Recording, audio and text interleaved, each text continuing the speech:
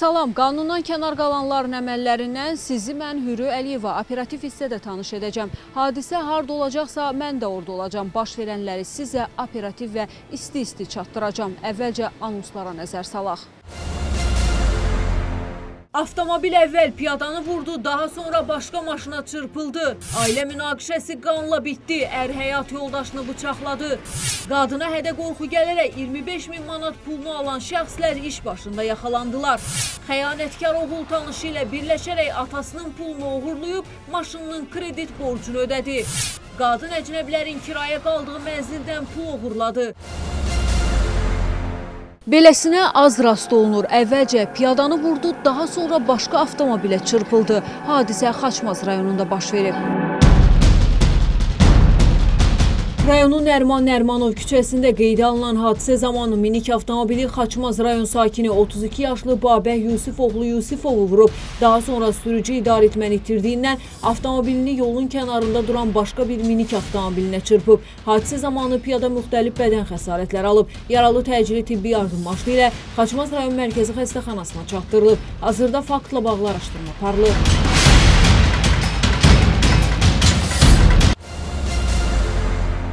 Qadına hədə qorxu gələrək 25 min manat pulunu alan şəxslər iş başında yaxalandılar. Yasamal rayon polis idarəsinə müraciət edən Ağdam rayon sakini olan qadın iki nəfərin ona hədə qorxu gələrək 25 min manat pul verməsini tələb etdiklərini bildirib. Müraciətlə əlaqədar Yasamal rayon polis idarəsi əməkdaşlarının keçirdikləri əməliyyat tədbir nəticəsində həmin şəxslər Həsənov küçəsində qadından pul alarkən cinayət başında yaxalanıblar. Araşdırmalarla onların Aslanov və Baxşaliyev olduqları müəyyən edilib. Faktla bağlı Yasamal rayon polis idarəsində cinayət məcəlləsinin 182-ci hədə qorxu ilə tələb etmə maddəsi ilə cinayət işi başlanılıb, araşdırma aparılır.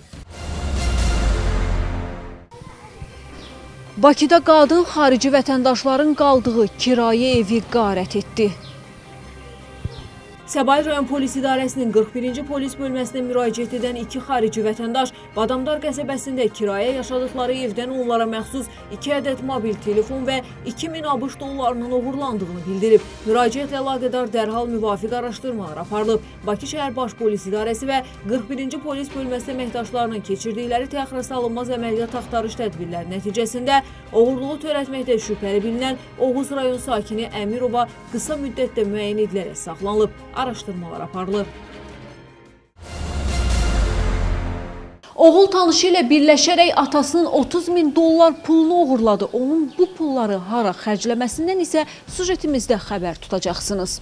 Suraxanı rayonu Hövsan qəsəbəsində paytaxt sakini Seyfullah Rızayeva məxsus mənzildən uğurluq edilib. Naməlum şəxslər evdən içində 30 min ABŞ dolları olan seyfi uğurlayaraq hadisə yerindən qaçıblar. Suraxanı rayon polis idarəsi və 30-cu polis şöbəsi əməkdaşlarının keçirdikləri əməliyyat axtarış tədbirləri nəticəsində qeyd edilən uğurluq hadisəsini törətməkdə şübhəli bilinən ev sahibinin oğlu Nərman Rızayev və onun tanışı Atamoğlan Cəbrailov saxlanılıblar. Araşdırma zamanı saxlanılan şəxslər törətdikləri uğurluğu olduğu etiraf ediblər.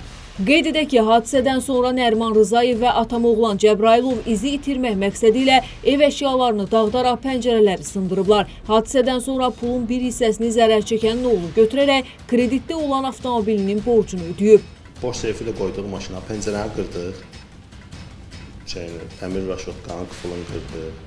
Gör pəncərədən girdi, çıxılıb. E, xırda xırda xırda alıyır, da hissə hissə. 4000 verdi, çıxdı, getdi. Sonra bir neçə saat keçdi üstündən. Yenə də əlaqə saxladı, getirdi 3700 də verdi. 8000. Mənim alacağım ondan elə bu olur.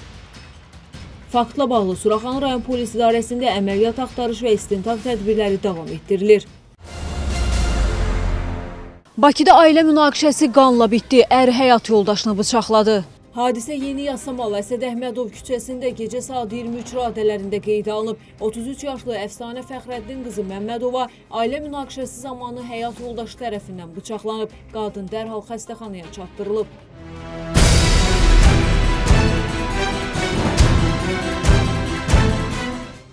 Əfsanə Məmmədova hazırda bir saylı şəhər klinik xəstəxanasına yerləşdirilib. Həkimlərdən aldığımız məlumata görə onun vəziyyəti stabil olaraq qalır. Döş qəfəsinin arxa səthinin çox saylı deşilmiş yaraları və sağ budun yarası ilə daxil olmuşdu. Xəstənin üzərində təxirə salınmaz cərrahi əməliyyat dərhal icra olunmuş. E, Hal-hazırda xəstənin müalicəsi ikinci cərrahiyyə şöbəsində davam etdirilir. Hadisənin hansı səbəbdən baş verdiyi hələ ki məlum deyil. Faktı Yasamal rayon polis idarəsinin 29-cu polis bölməsi araşdırır. Onu da deyim ki, cütlüyün bu evlilikdən 3 oğlu, ən böyüyünün isə 15 yaşı var.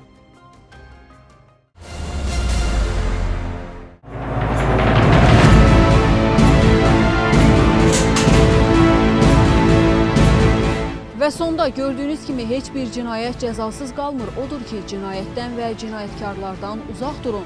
Növbəti gün, növbəti məkanda görüşmək ümidi ilə sağ olun, salamat qalın.